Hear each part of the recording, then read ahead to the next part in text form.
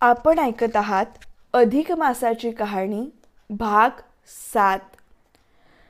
नारायण मुनी नारदाला म्हणाले नारदा आता तुला शेवटची वानराच्या मोक्षप्राप्तीची कथा सांगतो ती ऐक.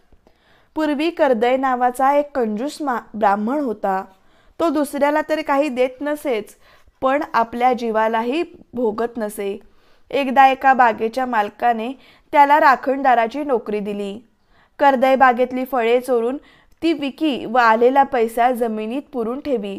मालकाने विचारले तर पक्षी येऊन फळे खातात असे खोटे सांगत असे. ह्या पापामुळे मृत्यूनंतर त्याला वानराचा जन्म मिळाला व मृगतीर्थ नावाच्या एका सरोवराच्या काठी तो राहू लागला. पण नारायण मुने? नारदाने म्हटले मृगतीर्थ हे पवित्र स्नान आहे ना? मग त्या पापी वानराला तिथे थारा कसा मिळाला? नारदा तुझा प्रश्न रास्त आहे. पण कर्दयाने आपल्या पापाच्या राशीत थोडेसे पुण्य अवचित मिळवले होते. आणि त्याच्या जोरावरच त्याला त्या पवित्र स्थळी जन्म मिळाला.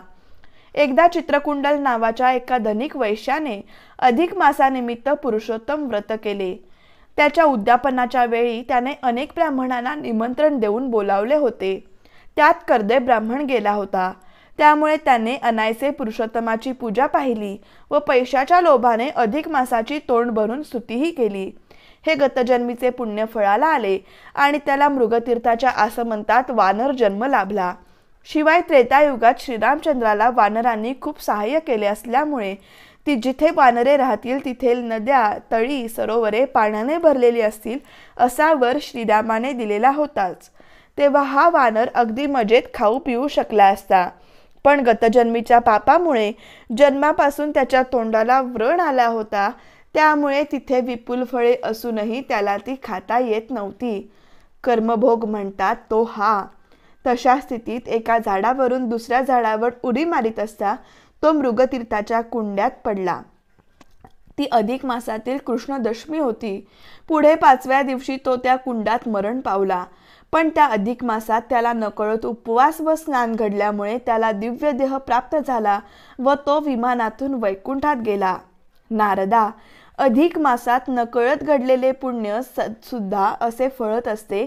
मग अधिक मासात यथाविधी स्नान दान उपवास इत्यादी केले तर केवढे पुण्य लागेल बरे?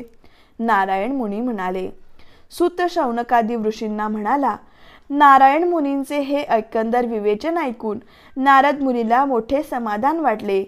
आपणालाही अधिक मासाची ही कहाणी ऐकून तसेच समाधान वाटले असणार.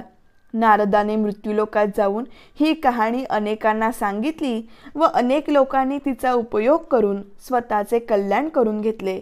असो पाचा उत्तराची ही कहाणी साठा उत्तरी सुफळ संपूर्ण झाली.